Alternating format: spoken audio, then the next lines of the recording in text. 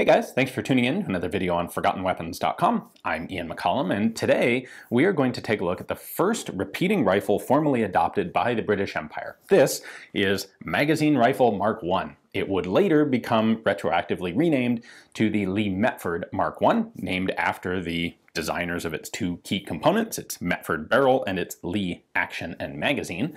Uh, however, when it was first adopted, just magazine rifle. So the British, of course, had been armed with the Martini Henry, a single-shot falling block rifle, uh, a very stout and sturdy rifle. It was dependable, it was well-liked, um, and they were in the process of adopting a new version of it uh, in a slightly smaller caliber, 402 caliber instead of 455, uh, and with not quite a magazine, but with a hopper of readily available ammunition on the side of the gun. And this was going to be the Enfield Martini rifle.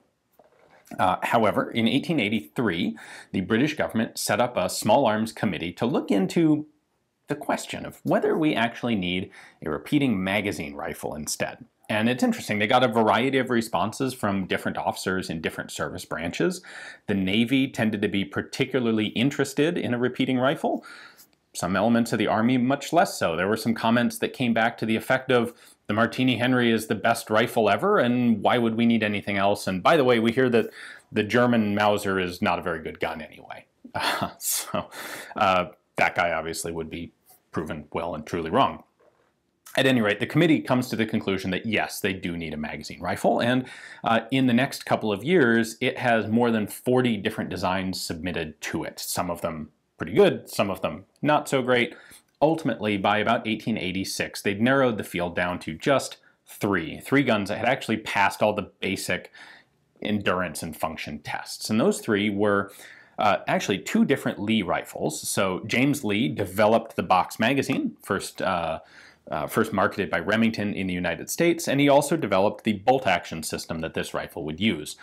Uh, of the three guns the British were actually testing out. Uh, one was a Lee kind of like this with a detachable box magazine. One was a Lee with a Bethel Burton magazine, which is basically a hopper magazine on the side.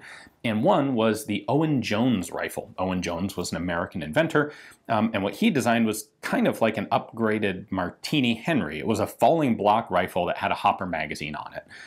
And remarkably, it actually did well enough in preliminary testing to get into this final phase of testing. Uh, there was certainly some prejudice working in its favor because it was an adaptation of the Martini-Henry system. So you had a little bit of that, well, we can already make some of the parts and it'll be cheaper. And you had a lot of, well, we like the Martini-Henry and now we can have a magazine rifle that is a Martini-Henry. What could go wrong? So uh, 1886, Actually, this comes down to a contest between the, the Lee Burton Hopper magazine and the Owen Jones, and the Owen Jones rifle is removed from competition. I should say at this point, by the way, the Lee rifles, uh, the Lee magazine rifles, are being provided, they're being purchased directly from Remington, and they're in 43 Spanish caliber, while the Owen Jones and the Lee Burtons are in 402 caliber, which is what the British think they're going to adopt because that will fit with the new Enfield Martini rifles as a territorial and reserve weapon. This all kind of comes to a little bit of a screeching halt because smokeless powder gets invented. And uh, in 1887, the Small Arms Committee takes a, kind of a sidetrack and they start looking at this uh, basically 30 caliber Swiss cartridge developed by Colonel Rubin in Switzerland. And they do some quick testing and they discover, you know what, this high velocity 30 caliber small bore cartridge is actually kind of better in all ways than our 402. The ammunition weighs a lot less, it has a flatter shooting trajectory, uh, it actually has better penetration. Like we kind of actually have to go with this new cartridge. And that is what that's the immediate thing that leads to the development of the 303 cartridge, which is, by the way, the end of the Enfield Martini. Because if if you're adopting a 303 caliber magazine rifle, there's no point in having a 402 caliber Martini as a reserve weapon when you that's a brand new cartridge as well. It doesn't make any logistical sense anymore, and that gun just kind of poof goes away in the wake of this decision to adopt a 30 caliber cartridge. They would end up converting Martinis to 303, but that's kind of a separate deal. Anyway, uh, once they make the decision on this small bore cartridge, they're left with just a Lee action and they have basically one final set of trials to determine whether they want the Bethel Burton side-mounted hopper magazine or the Lee box detachable underside box magazine. Uh, they build a couple hundred trials rifles of both types, send them out, and the box magazine wins. Now, we're used to thinking of the Lee Enfield as a 10 round box magazine. At this stage, this was actually an eight round magazine. The, the early trials rifles in 43 Spanish held five rounds, and once they converted, once they changed up to what would become 303, this magazine was capable of holding eight. And hey, you know, even better, the ammo's lighter, you get to carry more of it in the gun. Excellent. So, uh, in 1888, they formally approved the Lee magazine rifle, uh, and start sending, start building uh, pre-production guns, sending them out for troop trials, and they send these things out to basically all corners of the British Empire. They go to Egypt, they go to India, they go to Ireland, they go to Canada.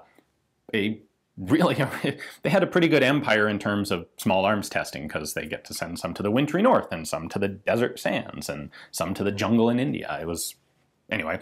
Uh, the rifle came back well liked, and in 1889 it was formally adopted. It had already been basically type adopted in 1888 when they did the, the field trials, but it's, it's all official and done as of 1889. This is the new service rifle. So let's take a look at it up close.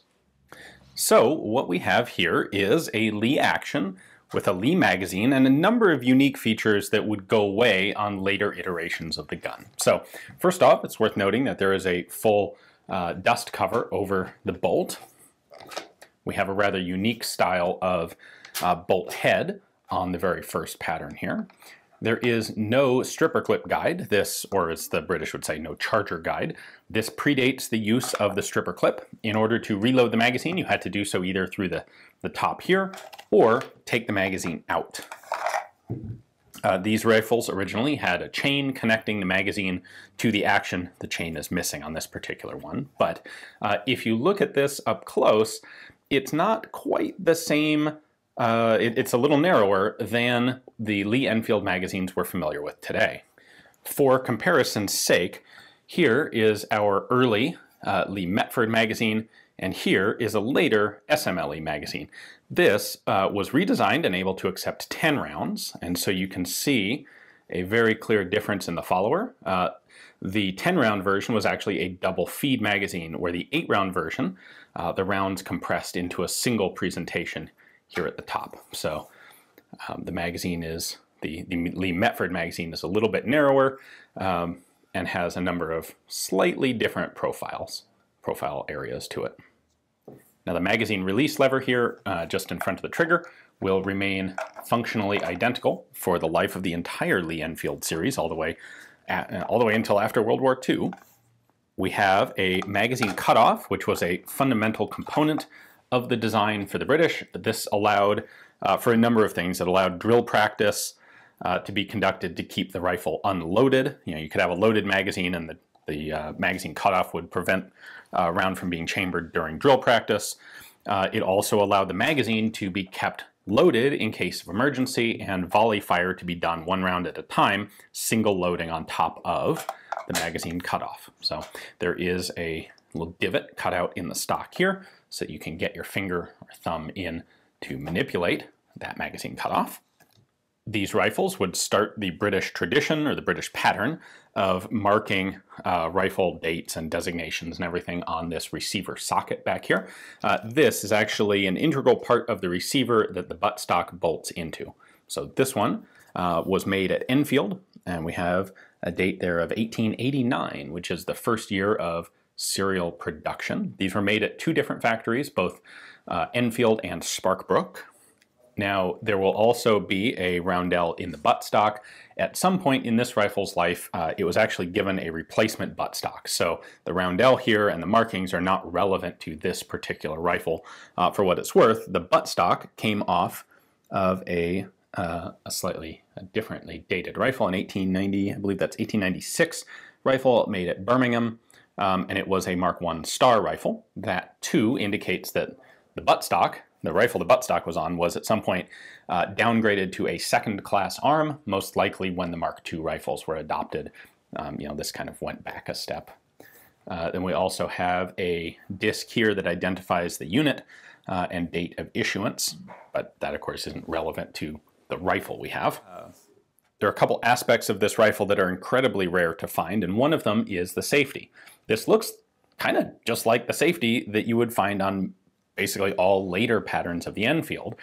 However, the, the very first Lee Metfords had this safety, but it was occasionally possible for it to get bumped on, um, and they decided that the safety was more of a liability than a help, and the safeties were actually removed from the rifles and removed from virtually all uh, intact examples. So finding a Mark I Lee Metford or Mark I magazine rifle with the intact safety is very rare today. So it's pretty cool to see it there. Uh, the shape is slightly different than you will see on later iterations of the Enfield. Uh, while we're here, we'll point out that this is the rear volley sight.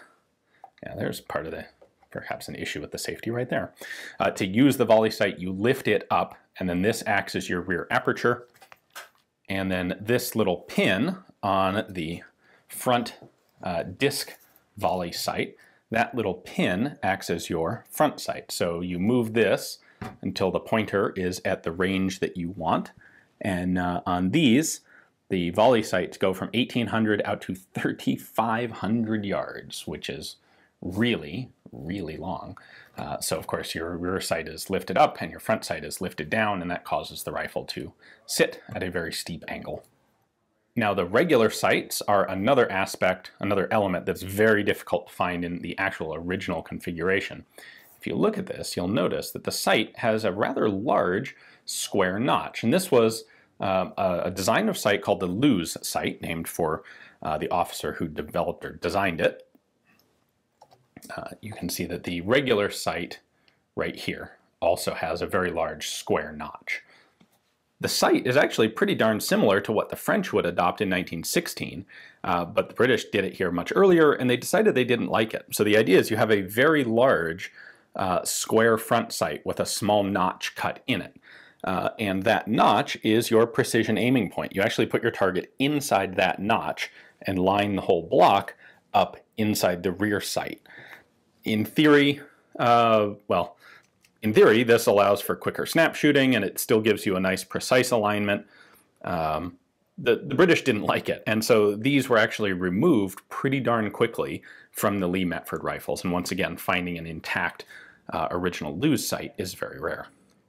The rear leaf sight here is graduated up to 1900 uh, yards, and this is another interesting element that changed relatively quickly once again, because when these rifles were adopted, the British hadn't adopted a smokeless, or uh, what they would eventually get is cordite, um, a specific type of smokeless powder. But the British hadn't adopted a, a, smokeless powder cartridge. When these first were adopted, they were still using a black powder cartridge, and so they graduated the sights based on what they expected the smokeless version to be. Because they knew it was coming, it was in development, it just wasn't quite ready yet. And they, they didn't want to delay production of the rifles or adoption of the rifles to wait on this ammunition. Um, and it turns out they got the they got the smokeless powder velocity a little bit wrong, so they would have to go back later and recalibrate the sights. So finding one. Uh, one.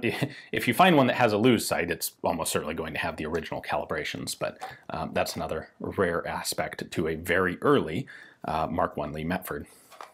Now, one other series of changes that happened quickly enough that we can see them, uh, the final version, even here on such an early rifle, is the design of the rear handguard.